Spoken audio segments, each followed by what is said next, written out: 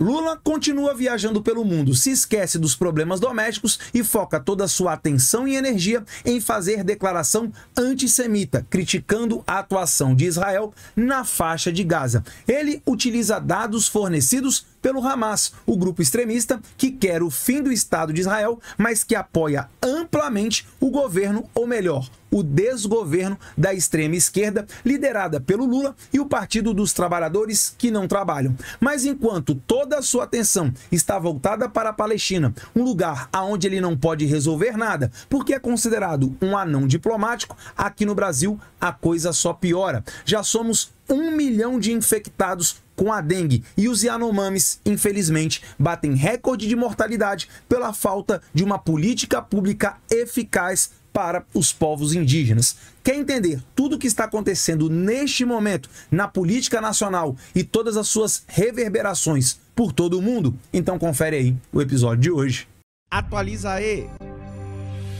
Fala galera, Toby na área com mais um Atualiza aí no ar. Esse é um vídeo muito importante que você deve compartilhar, principalmente com aquele seu amigo esquerdista que fez o L e agora tá de todas as formas tentando passar pano nas redes sociais para esse desgoverno que continua com declarações antissemitas contra o povo judeu, mas aqui dentro a coisa só piora e a mídia brasileira simplesmente com meias palavras para não prejudicar o seu presidente favorito. Afinal, ele já pode ser considerado o genocida da paz, porque as mortes aqui dentro aumentam a cada dia. E ele, bom, viajando pelo mundo.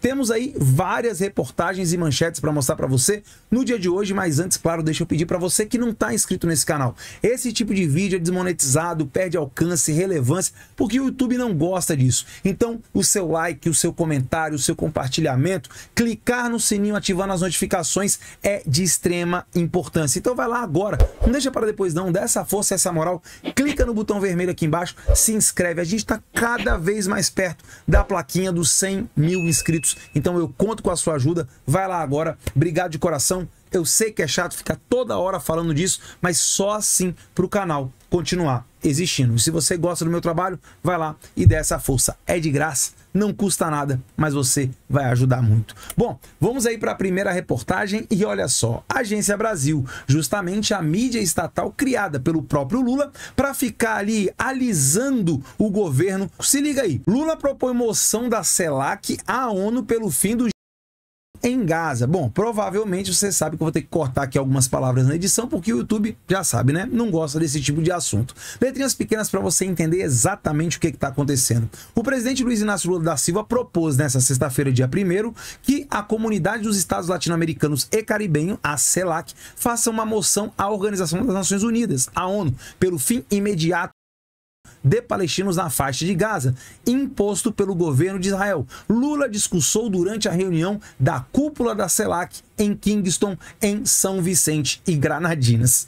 Mais uma vez, esse cidadão, esse presidentinho aí falando o que não conhece, o que não entende. Vamos lembrar, dia 7 de outubro de 2023, o Hamas lançou um ataque contra Israel e mais de mil pessoas foram mortas simplesmente pelo fato de serem judeus, sem falar daqueles que foram sequestrados e continuam sendo mantidos em cativeiro justamente por esse grupo abominável chamado Hamas, que tem ligações com muitos membros do Partido dos Trabalhadores, que não trabalham. Você sabe de tudo isso. Agora, o Hamas não quer devolver os reféns, mas o Lula quer que o conflito termine. O que que esse cara sabe sobre o que está acontecendo lá na faixa de Gaza? Quais são os dados, os números que ele está utilizando? Sabe de onde é que vem? Justamente do Hamas. Bom, será que rola uma simbiose entre o desgoverno brasileiro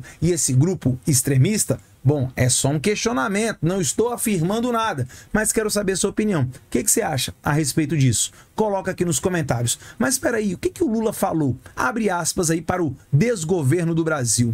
A tragédia humanitária em Gaza requer de todos nós a capacidade de dizer um basta para a punição coletiva que o governo de Israel impõe ao povo palestino. As pessoas estão morrendo na fila para obter comida. A indiferença da comunidade internacional é chocante, fecha aspas, disse o anão diplomático presidente do Brasil, pelo menos por enquanto. Bom, mais uma vez eu reforço aqui: quer acabar com o conflito? É muito simples, basta o Hamas entregar todos os reféns e aí, meu amigo, simplesmente não terá mais argumento para o conflito continuar. Mas imagine você, se você tivesse um parente, um amigo que neste momento estivesse sequestrado pelo Paraguai, por exemplo. Só uma analogia, tá? Imagina que o Paraguai veio aqui no Brasil e levou centenas de brasileiros. Você defenderia que o Brasil fosse atrás desses reféns custe o que custar. Lembrando que Israel, ao chegar em uma determinada área lá na Palestina, na faixa de Gaza,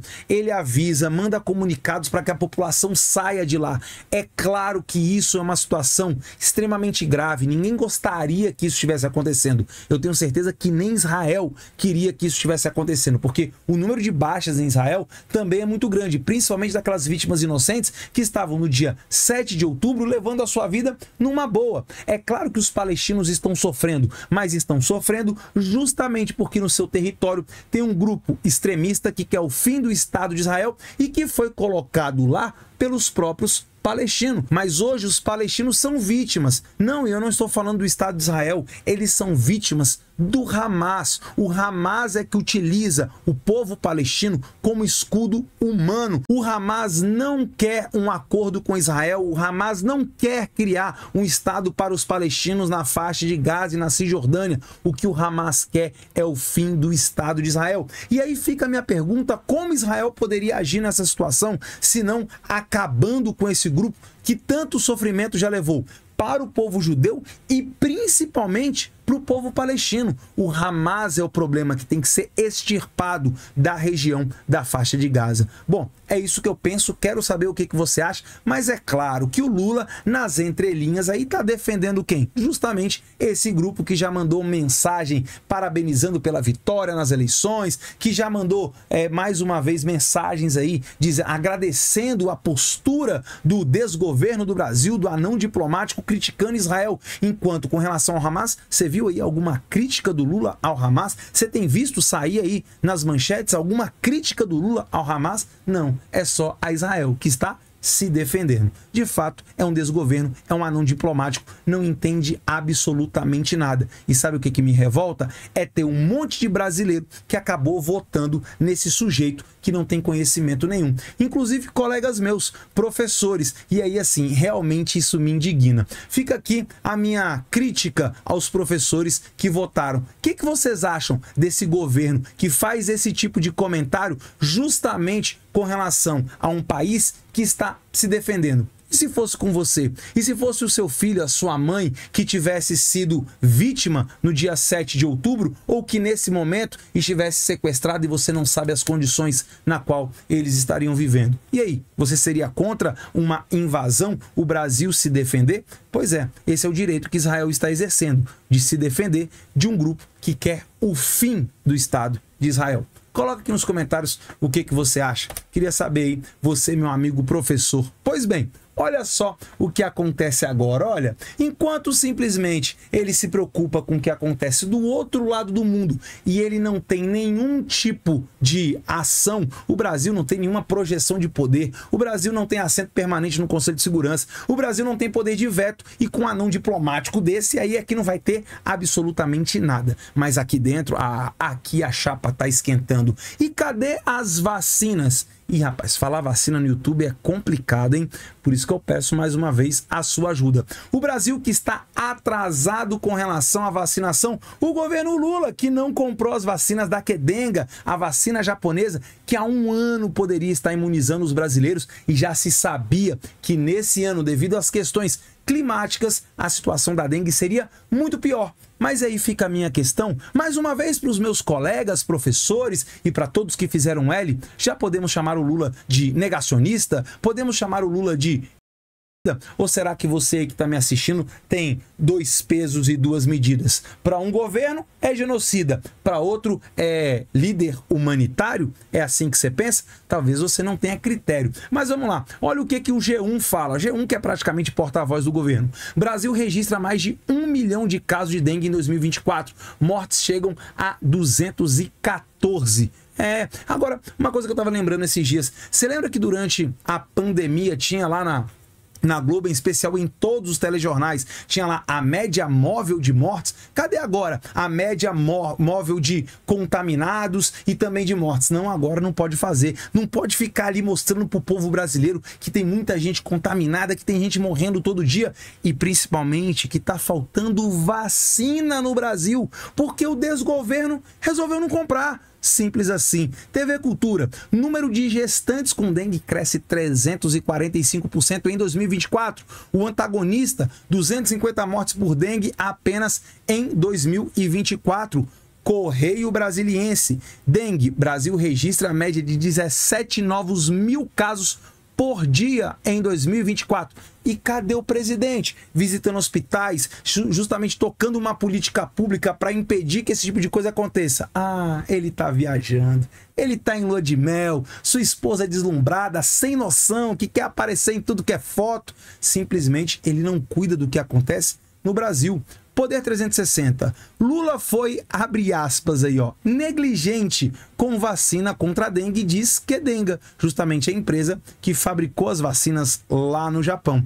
E aí, estamos aqui, ó, jogando na sua cara e você esquerdista, faz o L aí de novo. Estamos aí, ó, mais uma vez jogando na sua cara. O que, que você tem a dizer sobre isso? Bom, e o UOL diz assim, ó, dengue, governo federal demorou para comprar vacina contra a doença Será? Será que demorou? Não demorou, não. Nós não temos praticamente ninguém vacinado no Brasil. Essa vacina já está disponível há mais de um ano e o governo resolveu, ó, ficar quietinho. Não vamos comprar, vamos deixar simplesmente termos uma vacina nacional que demorou para sair, demorou para a Anvisa aprovar e mesmo depois que aprovou, olha aí, o governo demorou a comprar.